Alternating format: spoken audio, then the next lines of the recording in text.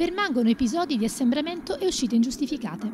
Il comune di Pavia ha lanciato un nuovo appello per richiamare i cittadini al rispetto delle regole, essendo stati segnalati numerosi casi di uscite in gruppo, passeggiate in famiglia lungo le sponde del Ticino, anziani a passeggio e un aumento dei runners. Qualcuno utilizza le panchine del viale Alberato di viale Matteotti per gustare una birra in compagnia, ma adesso le istituzioni locali sono costrette a rimarcare con più severità che si deve uscire da casa solo per comprovate, urgenti e non rimandabili necessità. Non è pertanto consentito utilizzare l'animale domestico come alibi per allontanarsi troppo dalla propria abitazione e si vietano i raggruppamenti sempre e comunque. Chi non rispetta le regole rischia sanzioni amministrative e penali. Ogni violazione sarà segnalata all'autorità giudiziaria.